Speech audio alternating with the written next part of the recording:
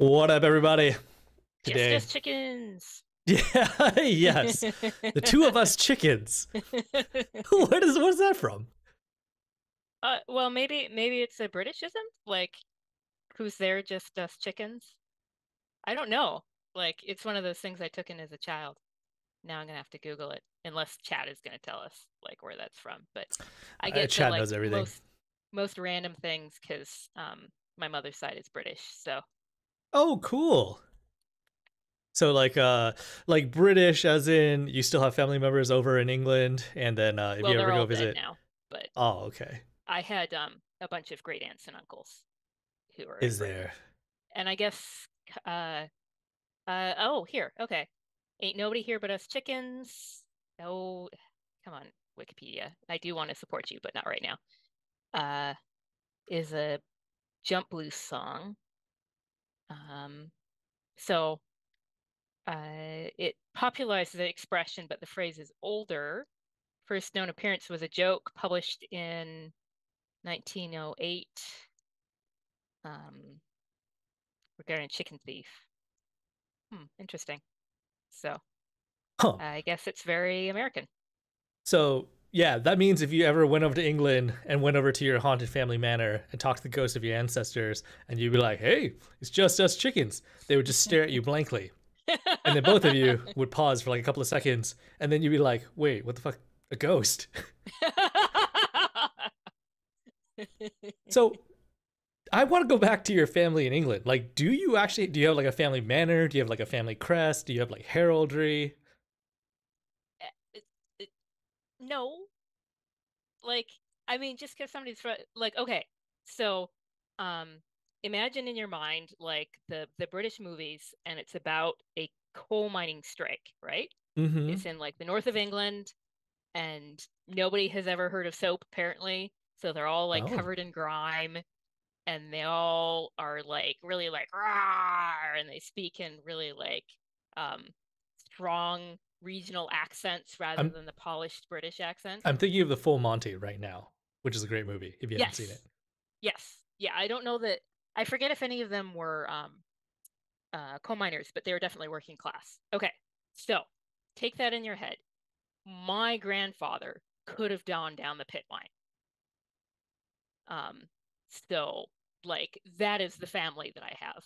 Um he had uh brothers who did go into mining um, my grandmother was um, a miner's daughter who her father died in a mining accident, um, and then her mother later remarried. So I had a step grandfather um, who's now dead, but I met him at one point. Um, and so, like, that's that family history. Yeah, my oh, grandfather has this family story of how he didn't get along with his parents his parents didn't treat him very well. Um, and so uh, he had to go to London to look for work from, you know, their small Yorkshire town because he wasn't going to go down the mine. Um, so his Nobody older brother um, said to him, you know, you're go you're going off. Um, I'm sorry to see you go. Go in my coat pocket. There's a shilling there, and like that'll help you out a little bit and that was like the entirety of the goodbye he got from his family. Like his parents didn't see him off. Like it was just his older brother sort of like giving him a little bit of money that he couldn't really afford either. Um and he just like set off to london to try to find work so. Huh. Is that do you think that that's just like uh the family culture or do you think that that's sort of like the attitude of the times like how to toughen up your kids that are about to like go off on their own or like maybe there's some sort of idea that like oh this is like what masculinity is or something. This is all you need to go off and make your own fortune. No i think they were just they were dirt poor and there was i think how many how many siblings did my grandfather had? Like there were like six or seven of them. Oh my goodness and, that's a lot of kids yeah, yeah. Uh, well, I mean, and that was the product of the time. Um, but like, I don't know, like because you know, there's there's a lot about sort of like, oh, you know, uh, you didn't you know stiff upper lip and didn't love their kids and blah. blah, blah. Um, but like I think some people they did they did care for their kids and some people didn't. And when you have no birth control, you don't get to choose whether you have kids or not. So if you're not the kind of person who really loves kids, then too bad. you got them anyway. Yep, yep, yep, yep. So I, I don't I don't think it was any kind of like sort of um mis misapplied sort of like build their character or anything like that. I think they just they they were dirt poor and they couldn't care and like they didn't make an effort because they were the kind of people they were and I can't really blame them, but Right, right. Yeah. It's not like here's a week old pie, pie crust with some money inside and clothes and like half a cooked chicken. You'll you'll make it, kid. So so Rhiannon, yes. uh, unless you have another topic of the day, I actually No. really want to pick your brain about Okay. like uh, your D and Journey Yeah. because I think of like all the people um, that have been members of like the, the original crew. Mhm. Uh, I think you were one of the ones who had um, uh, a very strong opinion, or, or maybe just like a preference of like how to play D and D in the beginning. Uh, that wasn't exactly like how we were playing on stream, and so like I was wondering like if that sort of like changed over time and how you feel about things like uh, like combat or like uh, you know character peril, you know throughout like the different arcs oh, and oh, uh, okay. campaigns that we've like, had. wait, what were my preferences? I mean, it was many years ago. but I feel like you know we haven't actually sat down and like chatted about this. Um, and when we actually started playing, that was my first time actually uh like really digging into like a 5e campaign. Mhm. Like this is the longest running 5e campaign I've been a part of.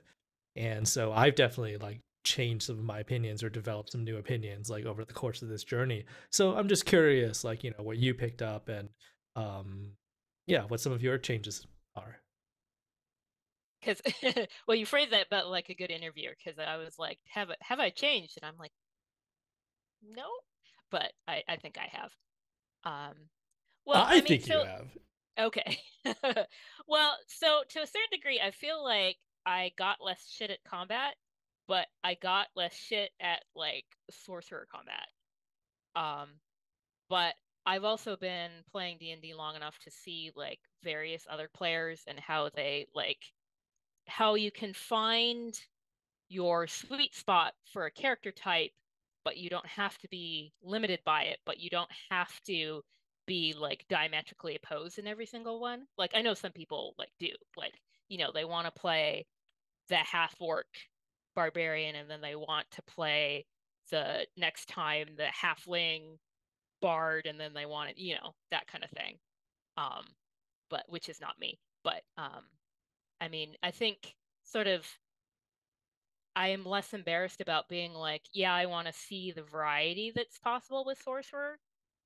Um and i like sorcerers um Yeah. fuck wizards man yeah. well, Uh, Jeremy this Crawford does not agree with you, but you know that's okay.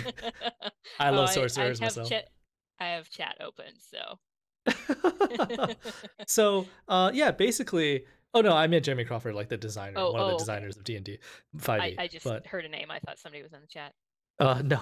But uh yeah, so I feel like um you know, you came into it like very much so um wanting more of like a like a role play heavy, like intrigue heavy, uh day in the sli- uh, day in the life of slice of life, you know, type of game. Um and I think like over time like I've seen you like really embrace like the spell list and sort of like what the spell list can do uh to to allow you to live the fantasies that you have for your character and like how you can grow her as you level her and get access to new spells and like what's a huge difference between me and you is that and, and i and i really admire this about you is that you are like absolutely delighted by getting a spell and like casting the spell like you have really made like lightning, chain lightning, like levitation, you know, all those things, uh, uh, like really like yours. And like you Mhm. go back to them and like you just love, I can tell you just love using them every time.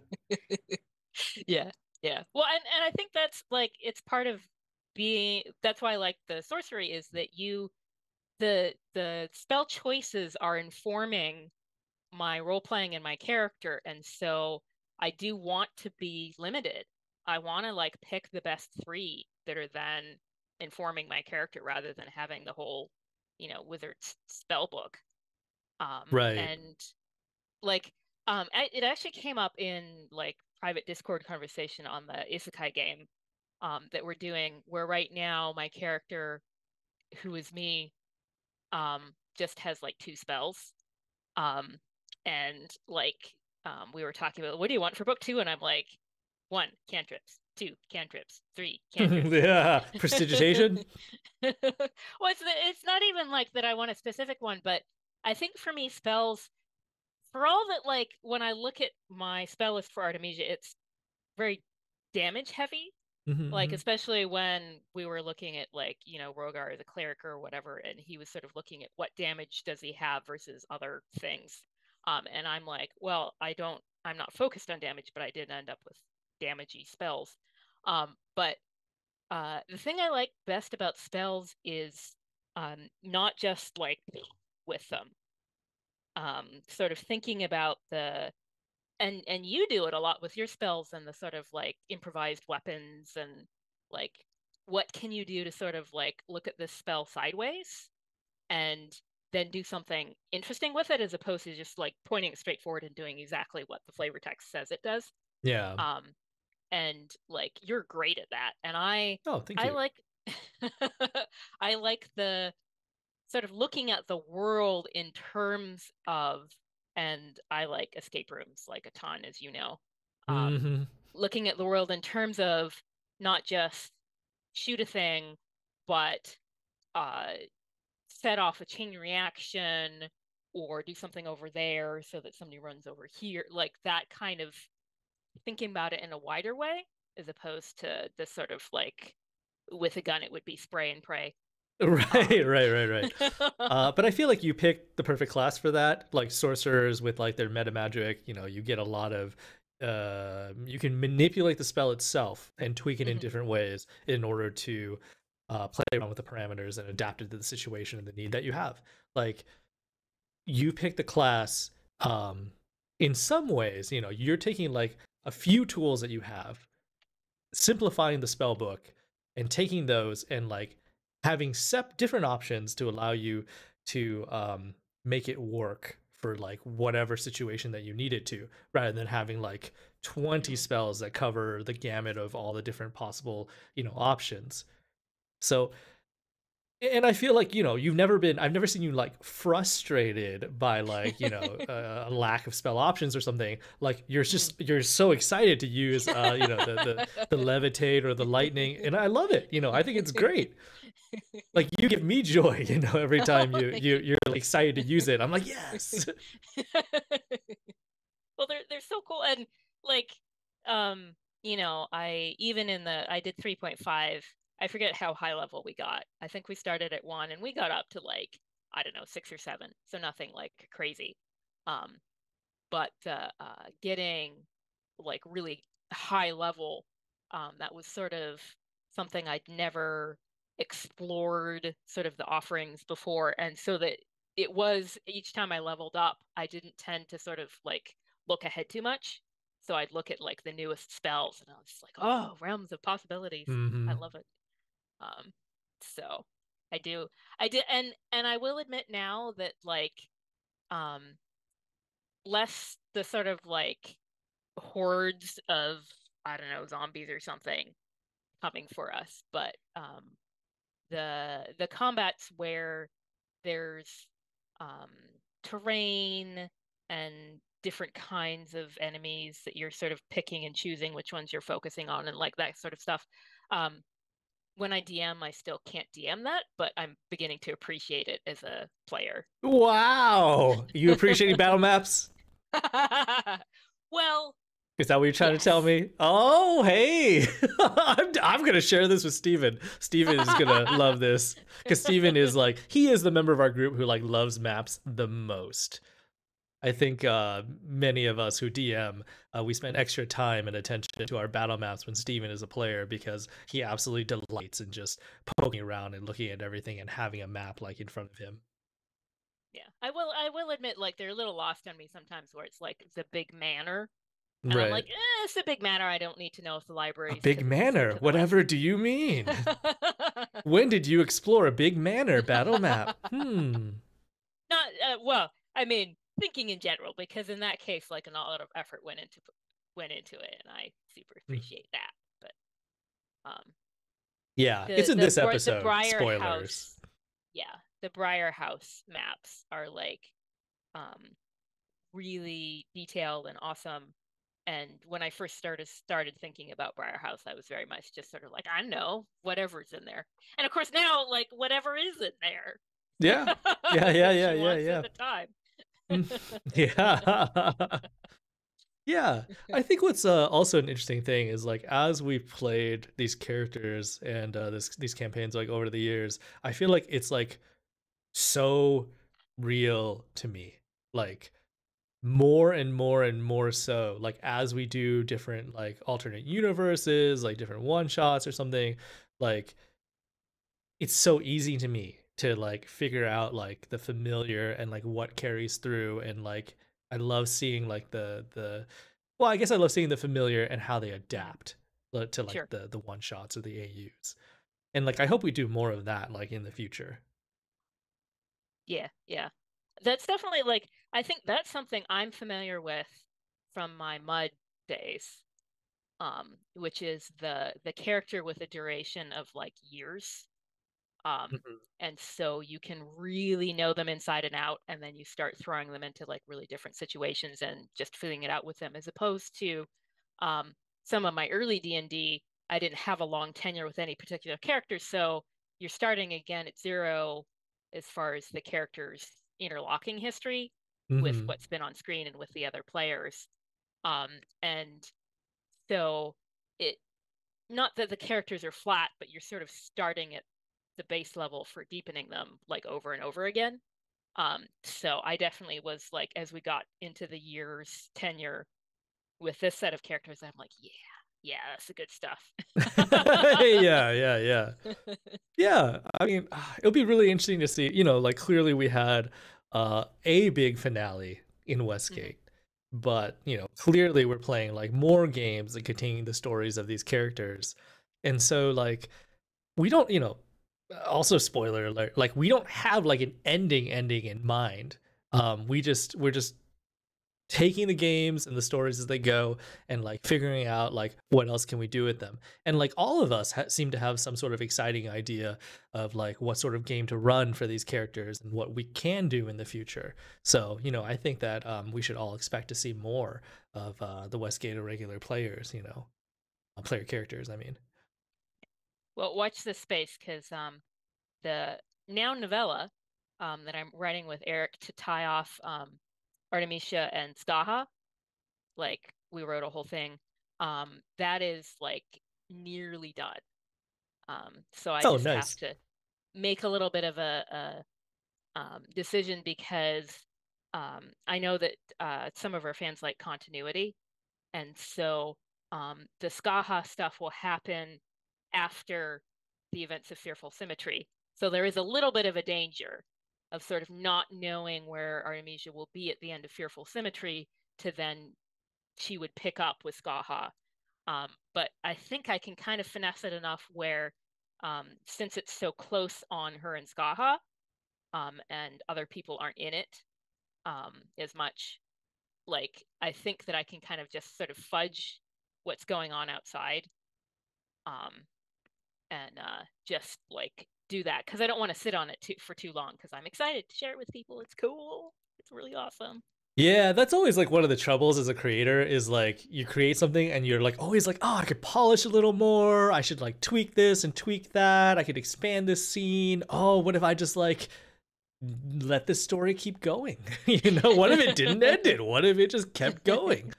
Um, and yeah, you just got to nip it in the bud and pick a time to actually just share it with people.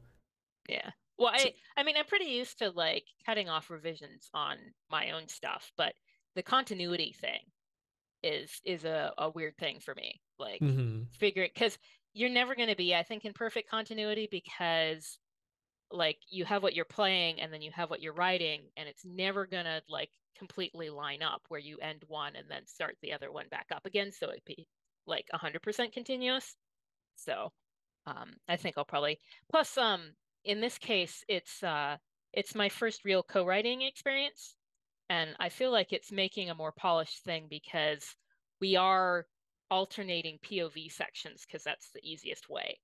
Mm. Um, but we are sort of contributing or looking over the section before us so that sort of you write a section, then somebody else like polishes a little as you go along. Um, and I know I want to do one like continuity within it, polished pass. I assume Eric will want it too. Um, so then at the end, it ends up being, I think, probably pretty like I'll still do a read aloud um, computer program step to catch the typos, but we should be pretty close to rolling out. I mean, that's awesome. You know, I tried that process that you were talking about. Uh, you know, two writers co-writing something, each of us take a chapter, then we alternate to the other writer for the next chapter, you know, and and so on and Mhm. so forth. Um, it we started off saying that oh, this should be some sort of murder mystery. It quickly devolved into to some sort of really weird, like passive aggressive, like slice of life, where our two characters like ref- like you know we we got dressed we went to go get coffee like whatever and talk about things and like each of us on our chapter just like thought about how the other character basically was like wrong or their choices like oh like you know judging their choice of coffee or something and um you know taking the mystery and the solution like a different direction. So it did not really work out you know for us. And i think you know what you- i learned was that we had know, very different styles of solving a mystery. And That's that's true. that's what we did not explore like before beforehand. So you didn't have a sort of overarching outline that you were working toward? no we just pantsed it. Oh, we were just like okay. oh let's just do this. It was you know it wasn't for anything. It was just like for fun. So we were just seeing what happened Yeah, well, so I've done like it's kind of almost just a two-player play-by-post kind of game, like with somebody. Um, and it sort of meandered, uh, which was um, and the the one that I sort of maintained the longest, um, I was experimenting with something that like kind of worked, which is that um, they had the characters didn't share a language, and so ooh um, we would each write our part and send it to the other person, but we would X out all the dialogue. mm-hmm So all the other person would know is sort of like whatever body language kind of details you wrote in there. Um, so that that was fun. Like I don't know that it made a product that like, but it was just you know something we were doing for fun between the two of Yeah. us. But Yeah, I love that sort of experimental or exploration, you know, type thing. Um, especially if you're not gonna release it, you could just do whatever. It's just for fun. So that's why we Yeah. felt like we could like me and this other writer, are really good friends. We felt like we could like talk shit about each other's like coffee tastes. like you know, I write that my character uh, ordered like a hazelnut espresso and then added some creamer. And then when it was like her turn to write, she was like, "What the fuck? Like creamer and hazelnut? Disgusting! Why don't you just get like a frappuccino? You know, you like something, something. You know." So I think it just turned into this thing where we were just like, um, because we're good friends, we just blame each other basically. yeah, we um Eric and I had like um by the time I was done with it a scene by scene outline. Um Er- Eric Eric claims that I made the outline and he just agreed with me, but um I was definitely trying to like bounce ideas off of him when we made it because we like talked it out and then I was the one just was the one who wrote it down. Um but when I wrote it down I did sort of like try to divide it scene by scene and we didn't 100% stick to it but i'd say we stuck to it like 85 90% um at least in the beginning and then of course like it sort of it goes a little different towards the end but so um that sort of knowing kind of like okay this is where i'm trying to go in this scene and this is where i want the characters sort of end this scene really easily jumps then into the next scene so Yeah, uh, you know, I'd love to continue this conversation. In fact, I'd love to pick your brain a little bit about like different AU possibilities. Um, yeah. but Uh, right now we're at 625, and so we have to take a five minute break and run an ad, and then start with the new episode seven of Fearful Symmetry. Enjoy it. All right, we'll see you uh, next time. Oh, we won't be here next week. We're running another rerun, unfortunately, just because of like travel schedules. It's just it's just tough. But in two weeks, we'll have another new episode for you at that point. Sorry to disappoint. And also enter the dice giveaway exclamation mark ticket. I'll put it in chat. Okay, bye.